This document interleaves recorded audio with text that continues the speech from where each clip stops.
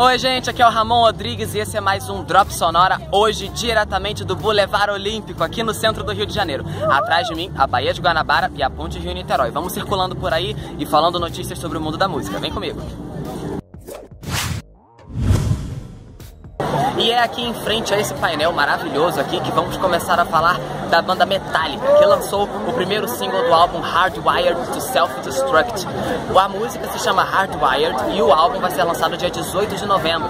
Vai conter 12 faixas e é o primeiro trabalho da banda depois de 8 anos. Os fãs estavam desesperados atrás de um trabalho novo e agora vão ficar mais felizes, né? Vamos ficar na guarda.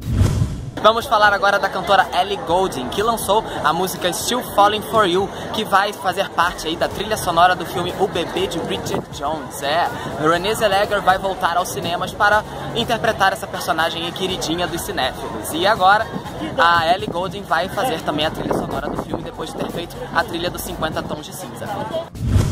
Agora aqui dentro da Casa Brasil, que fica no Armazém 2 aqui no centro, vamos falar do rapper paulistano Criolo, que lançou seu novo single intitulado No Sapatinho. A faixa está no álbum Ainda Há Tempo, que foi lançado em 2006 e foi relançado agora, 10 anos depois, com letras renovadas e arranjos mais elaborados. No Sapatinho está disponível em todas as plataformas digitais. Confira! E esse foi mais um Drop Sonora, especial esse, né? Sigam o Sonora 2.0 nas redes sociais para ficar ligado em tudo que postarmos por lá. Me sigam também nas redes sociais, tá tudo passando aí embaixo para você não esquecer. E fiquem ligados no nosso canal, pois toda semana estamos postando entrevistas super legais por lá.